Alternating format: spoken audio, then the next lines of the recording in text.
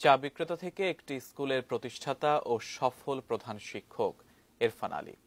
আর সেই স্কুলটিও এতটাই অন্যরকম যে একে অনুসরণ করতে অন্যদের পরামর্শ দিয়েছে প্রাথমিক ও গণশিক্ষা মন্ত্রণালয়। ঠাকুরগাঁওয়ের চরভিটা গ্রামে আলো ছড়ানো সেই স্কুলের গল্প নিয়ে দেখুন ডেস্ক রিপোর্ট, তথ্য ছবি পাঠিয়েছেন প্রতিনিধি ফিরোজ আমিন সরকার। ক্লাস পরীক্ষা বা বাৎসরিক কিছু গদবাধা আয়োজন। এর বাইরেও যে কিছু থাকতে পারে, তার প্রমাণ ঠাকুরগাঁওয়ের প্রত্যন্ত এলাকা, হরিপুর উপজেলার চরভিটা গ্রামের এই প্রাথমিক বিদ্যালয়টি। প্রধান শিক্ষক ইরফান আলী দেশে প্রচলিত স্কুলের ধারণা যেন ভেঙে দিয়েছেন। সবুজে ঘেরা এক টুকরো জমিতে পরিষ্কার পরিচ্ছন্ন স্কুল। দেয়ালে জলজল করছে বিখ্যাত মানুষদের ছবি। পাঠদানের আনন্দ বাড়িয়ে দেয় খেলার এসব উপকরণ। স্কুলের পুকুরে চাষ করা মাছ ও হাঁস মুরগি আয়ের একটি উৎস। শুধু তাই নয় স্কুলটির মূল আকর্ষণ মিড ডে মিল অর্থাৎ দুপুরে খাওয়ার ব্যবস্থা যা কিনা ছাত্রছাত্রীদের উপস্থিতি বাড়িয়েছে অনেক। আমার নিজেরটাই বলো আমি স্কুল যাব।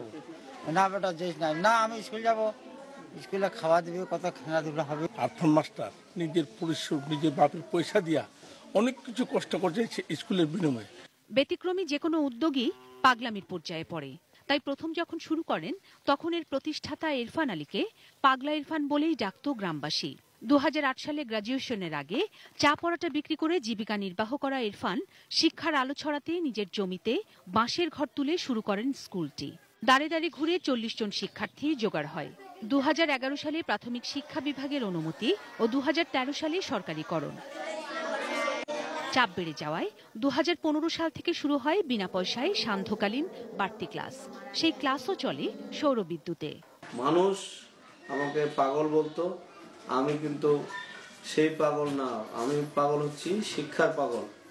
আজ আমার গ্রামের একটি বাচ্চা নয়টার পরে বাড়িতে বসে থাকে না। হান্ড্রেড পার্সেন্ট সাক্ষরতা হয়েছে আমার গ্রামে। আমার প্রতিটি বাচ্চার ফলাফল ভালো এবং প্রতি বছরই বৃত্তি পাওয়ার কারণে অভিভাবক এখন মুখরিত। অনেক দুই তিন কিলো পাঁচ কিলো দূর থেকে আমার বিদ্যালয়ে ছাত্রছাত্রী আসে। প্রাথমিক ও গণশিক্ষা অধিদপ্তর সারা দেশের প্রাথমিক বিদ্যালয়গুলোকে চরভিটার স্কুলটিকে অনুকরণ করার পরিপত্র জারি করেছে। এটি অপেক্ষাকৃত পিছিয়ে পড়া গরিব জনপদ। সেখানে এই ছেলেমেয়েরা যদি লেখাপড়া শেখে তাহলে এলাকার উন্নয়ন হবে এবং স্কুলটা এখন আস্তে আস্তে একটি মডেল স্কুল হচ্ছে। এই স্কুলটাকে ঘিরে হরিপুরের অন্যান্য স্কুলগুলোর মধ্যে একটা সুস্থ প্রতিযোগিতা তৈরি হচ্ছে। মেহনাজ বনি, ডেস্ক রিপোর্ট, এটিএন নিউজ।